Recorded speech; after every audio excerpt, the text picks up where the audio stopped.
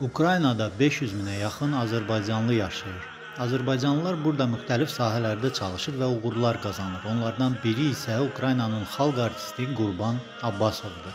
1976-cı ildə Azərbaycandan Ukraynaya musiqi təhsili almağa gələn gənc Qurban Çaykovski adına Kiyev Dövlət Konservatoriyasını bitirdikdən sonra Şərqi Almaniyadan dəvət alır. 1986-cı ildən başlayaraq Qurban Abbasov Weimar şəhərinin müxtəlif səhnələrində çıxış edir. Sovet İttifaqı süqut edəndən sonra Qurban Abbasov artıq müstəqil Ukraynaya dönərək Ukraynanın dövlət sərhəd qoşunlarının ansamblında solist kimi çalışmağa başlayır. Uzun illər Azərbaycandan uzaq yaşasa da Qurban Abbasov Azərbaycan musiqisini unutmayıb.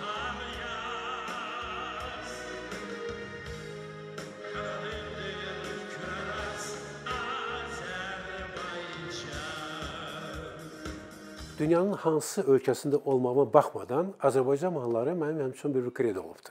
Üzeyir Hacıbəyovun əsərləri Germaniyada olanda, Fransada olanda, harda olanda mən həmişə bu mahnıları yaddan çıxarmamışam. Üzeyir Hacıbəyovun Arşın Malan operettasında məsələn Əsgərin duetidir. Ondan sonra Asaf Zinanın Ölkəm əsəri gözəl bir əsərdədir. Artıq mən indi də onu istifa edirəm. Azərbaycanın Tofiq Kuliyevin nə qədər gözəl estradasına tutmuş gözəl məsələn romansları vardı onlardan.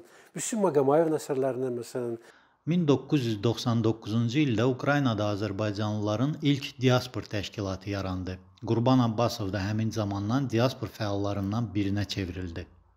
Həmin o 99-cu ildə, 2000-ci ildə balaca bir bina vardı burada. E, mərkəzdə 3 otaqlı bina idi. Onun qapısı bağlanmırdı. Gecə gündüz Azərbaycanlılar təzə yarandığına görə hər bir insan istəyirdi orada bir balaca öz əməyini orada göstərsin ki, Azərbaycançılıq nə olan şeydir. Bəli, həqiqətən işlər elə qaynarı ki, qapı bağlamırdı. O gecə gündüz mən 90 90 99-cu ilin dekabr ayında e, sentyabr ayında bu söhbət oldu. Dekabr ayının 31-də o balaca bir ansambl yarandı. Azərbaycan ansamblını biz yaratdıq.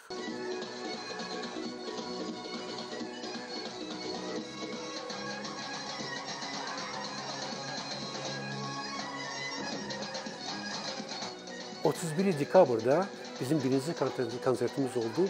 Həmin o konsertdə biz nəqin ki, elə bir xoşbəxtlik mənim üçün yox idi ikinci dünyada.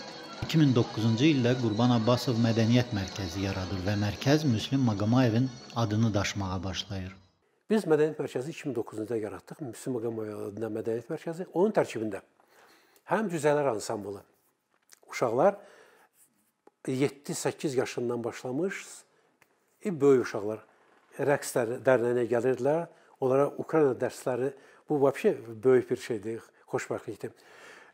Həm uşaq rəqs məktəbi, həm də böyük rəqs məktəbi bizim üçün bunlar bu gün də e, inkişaf eləyir, davam edir.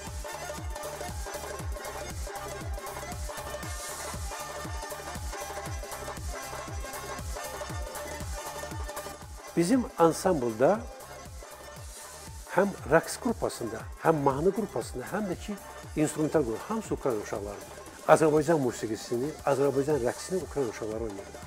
Bundan böyük xoşbəxtlik var. Yallını oynayırlar, zəngini oynayırlar, çobanını oynayırlar, nazələməni oynayırlar. Azərbaycan mahnısı oxuyurlar. Da bundan da başqa böyük xoşbəxtlik olar.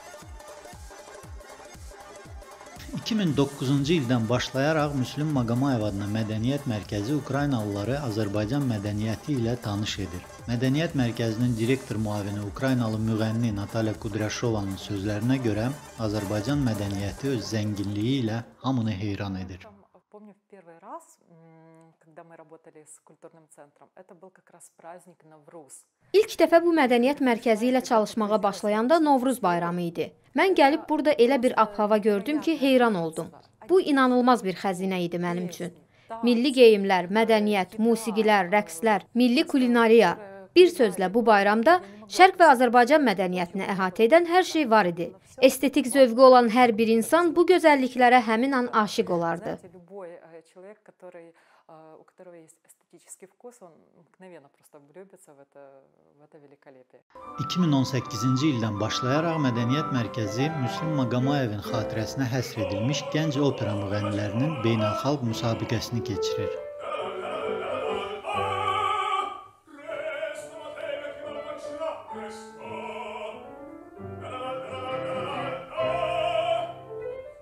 Ukraynanın və Avropanın tanınmış musiqi mütəxəssislərinin münsiflər heyətində yer aldığı müsabiqənin seçmə turu internet vasitəsilə keçirildi. Müxtəlif ölkələrin gənc müğənniləri müsabiqəyə qatıldı.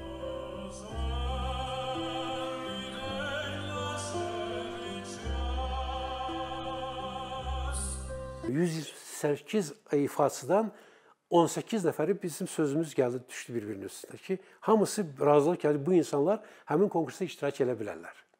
Burada İngilis, İngiltərədən vardı konkursantlar, ştatdan, ABŞ-dan vardı, Fransadan, Avstriyadan vardı, Ukrayna həmçinin onun içərisində. Azərbaycan təsvir keçim gəlmədi, bilirdilər, göndərmişdik də. Ümidim var ki, bu il Allah qoysa bu iş baş tutacaq. Bu il keçiriləcək müsabiqənin də seçmə turları artıq başlayıb.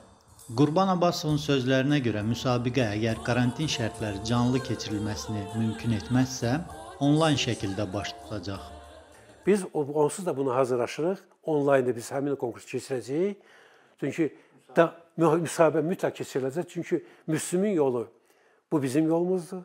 Müslümin qoyduğu həmin o yol, həmin o iz bu davam edə. Bu bizim Azərbaycanımızın dünya musiqisini dünyada göstərməyə bu bizim borcumuzdur. Mayın 17-sində isə Müslüm Maqamayev adına Mədəniyyət Mərkəzi özünün ilk onlayn konsertini keçirəcək. Ukraynanın xalq artisti Qurban Abbasov bizə ən böyük arzusundan da danışdı. Çox arzum olub ki, həmişə ki Azərbaycan uşaqları bu mədəniyyətçidə çox olsun. Çox təəssüflər ki, məsələn, hələ ki arzumuza çatmamışıq. Yəni ki, Allah qismət eləyəcək. Bu lazımdır. Çünki bu davam eləmişsə Azərbaycanlı uşaq lazımdır ki, bu yolu davam eləsin. Biz axı dünyada bir günlük, iki günlükdür. Bunu kiməsə verib getmək lazımdır ki, bu uşaq davam eləsin.